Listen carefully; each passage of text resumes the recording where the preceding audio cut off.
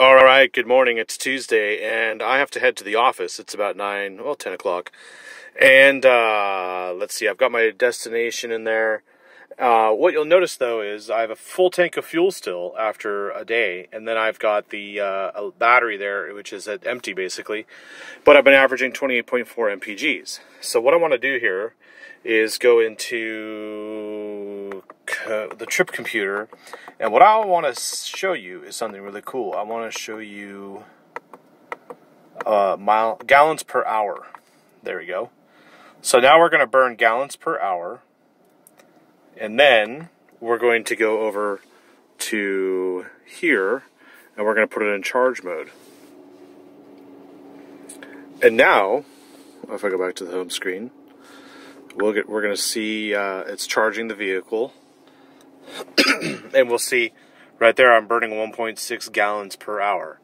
My whole theory here is on the window sticker, there's an EPA number. That EPA number is basically the uh, MPG equivalent.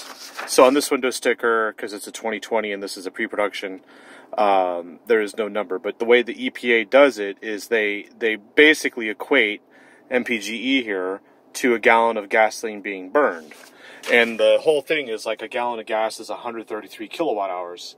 So my theory is this is a just under 12 kilowatt hour battery pack. It should take about a quarter gallon of gas to fully charge. And of course, you know, you could charge this overnight, but I do not have a way to charge it overnight. I have carports and such. So what we're going to do is is just see how much we can charge it today and exclusively on gasoline in the charge mode. And I'm not sure if it defaults to charge mode or whatever.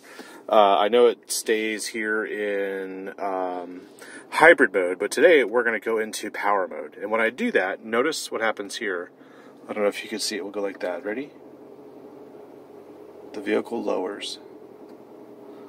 So now we're in a lower, sportier mode. The vehicle is being charged by the gas engine, and we are on our way. So we're going to put this in reverse. Remember, any more than twice, you're playing with it. And, uh, yeah, let's go to work. This should be fun. Well, my logic here is that the charge controller is only 3.5 kilowatt hours, so no matter what level 2 charger you put it at, you're only going to charge it 3.5 kilowatt hours max, which means that in my area, it's 6 cents a kilowatt hour, so 3 times 6, you'd be at 18 cents, and it would give you one third of the battery capacity, or actually one quarter, let's just say. So three kilowatt hours over 12, four times three is 12.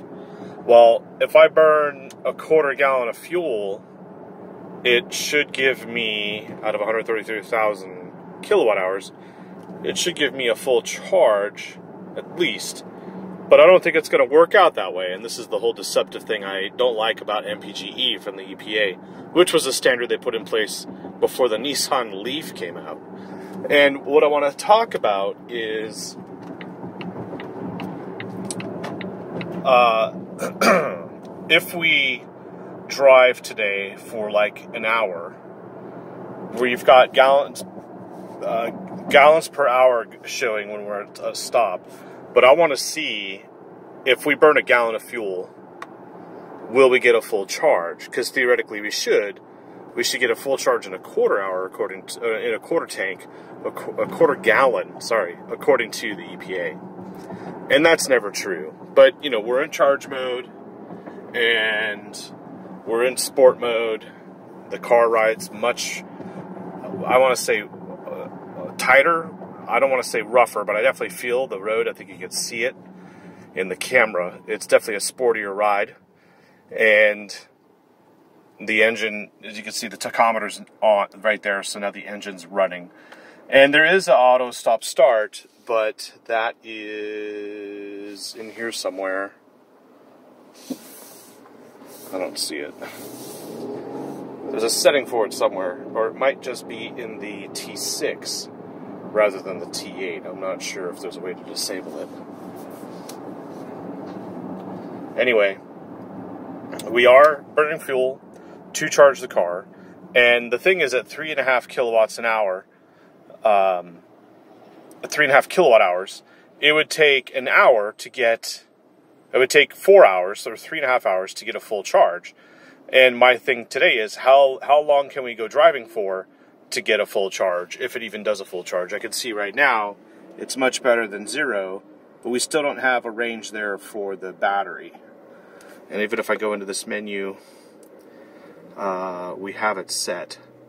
It's checked right there. And then the tourist thing is off. Uh, we're on gallons per hour. Let's see what else I can do. I'm going to start driving now, so yeah, we'll just leave that the way it is. And when I get to the office, we'll see what the charge is like. I also, also forgot to mention I can drop this down one more level, and when I pull back, it goes into B mode, which is regeneration. And that should also use that uh, braking capability. And if I move this to the left or to the right, it changes the regeneration levels.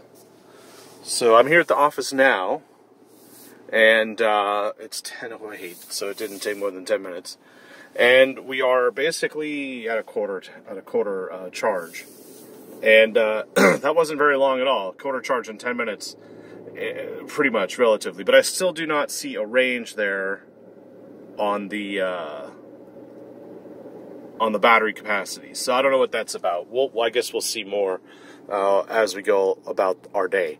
And I did something similar to this in the Mitsubishi Outlander plug-in hybrid electric, and um, yeah, so uh, it is what it is. I'll catch up with you. All right, it's 10:30 in the morning, and my day's work is done. So I'm gonna head uh, probably to the coffee shop or something and we are still in charge mode. When I started the car, it went back into hybrid mode, and charge mode was disabled, so I had to turn that back on. I had to put it back into power mode. And uh, interestingly enough, you can get the Polestar optimization for this, which would mean this power would turn into Polestar optimized, and then you would have an extra 30 horsepower bump, or it would be instead of 313 for the engine, it would be 330 horsepower for the engine. In this case, we do not have Polestar, and you would know by pushing down on here, and it would say Polestar instead of power. Plus, instead of power there, it would say Polestar. So that's it for uh, this morning, this morning's commute, and this day. So uh, I'm going to keep it in charge mode. We'll see. It took about 10 minutes to get to a quarter and I'm thinking it'll take a little longer to get to a half charge. But this should be fun. This should be fun. I'll find a, a coffee shop that I go to all the time in Richardson, and we will we'll just you know take these city streets and cruise around. And for those of you curious, the average MPGs is now 24.4. So there is an impact on fuel consumption, but think about it you can charge overnight. You can charge at 3.5 kilowatts an hour. That's the most you can charge on this vehicle, or all Volvo T8s for now. And the gas engine definitely charges it rapidly, and that's the best way to go because you can charge as you're driving, which saves you time. So if I didn't have time to charge, or if there was no charger at the office, I would just be charging while I'm commuting to, you know, other offices or whatever I'm doing. Maybe I'm a real estate agent. Maybe I, I don't know. But basically, I can charge while I'm driving.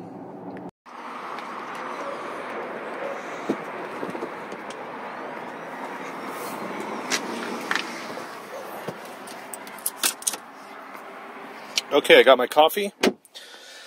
And uh, I'm at Island Coffee Roasters. This is a great place. Don't ruin it for me, all right?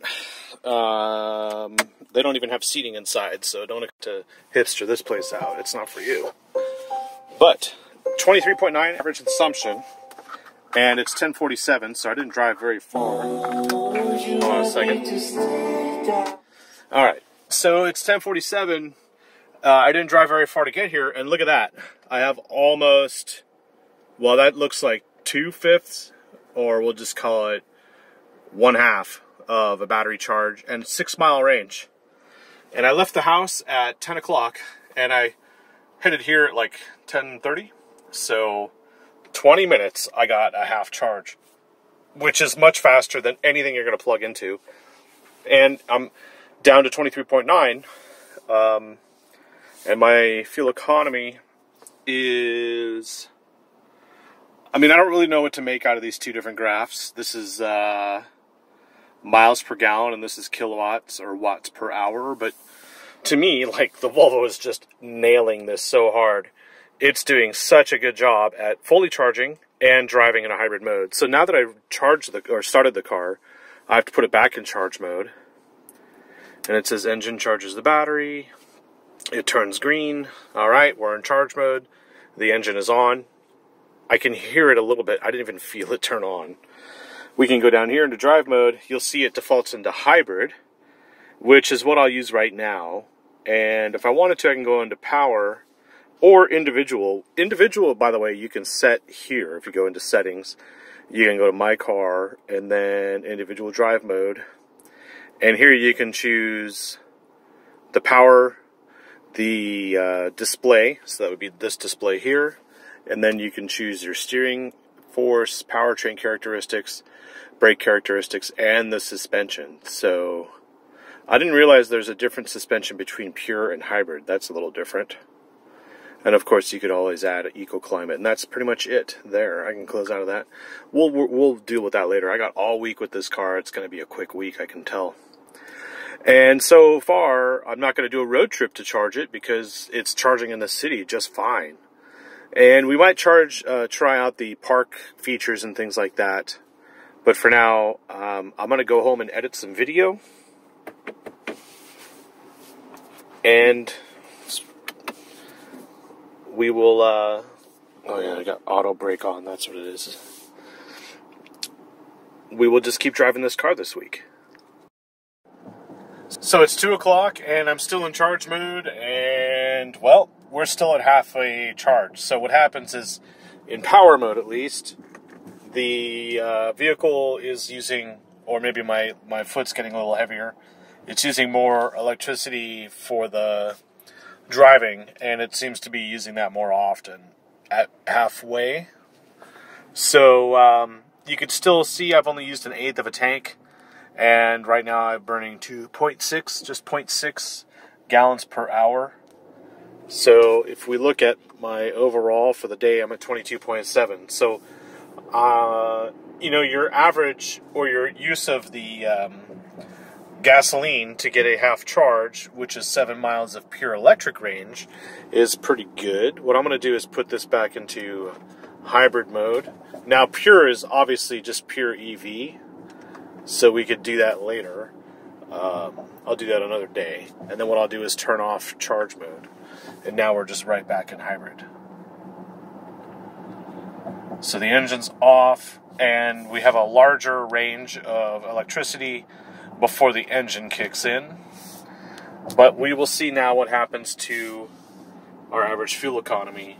So we'll see if that goes back up. I have to keep driving in order to do that, and I don't have much time left in the day to keep driving. So we will see probably later today what has happened with that. I don't know why the camera's so blurry.